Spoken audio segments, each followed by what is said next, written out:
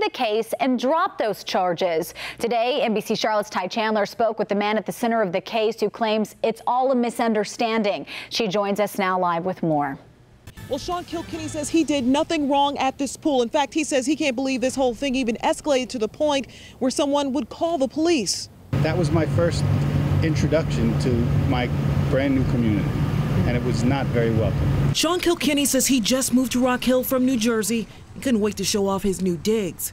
My first day going to the pool, and I was excited to show my friends back home in New Jersey what the place looked like.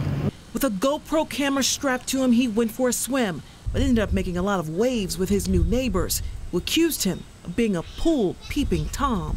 It's just me swimming on the bottom. I wasn't filming anybody. Mm -hmm. I wasn't doing anything wrong. And the next thing you know, the cops take me away. I spent the weekend in jail because the offices are closed. So I slept on a concrete floor for my first weekend here. Rock Hill police say they did find pictures of women in bikinis at the pool on Kilkenny's phone, but the charges were dismissed.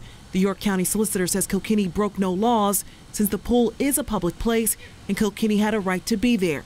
In a statement, she says in part, while the alleged conduct is perhaps concerning and distasteful, it does not rise to the level of criminal conduct but neighbors aren't convinced. Even though it is a public place, you know, I feel like there's certain rules you ought to abide by, and I don't feel comfortable in somebody uh, filming you or taking pictures of you without your permission. The fact that it got thrown out gives me some vindication, but that doesn't mean that all these people around aren't looking at me like I'm some weirdo because I'm not. Well, on a day like this, Kilkenny says he would have liked to have gone to the pool, but after everything he's gone through in the last few days, he says he'd rather stay home.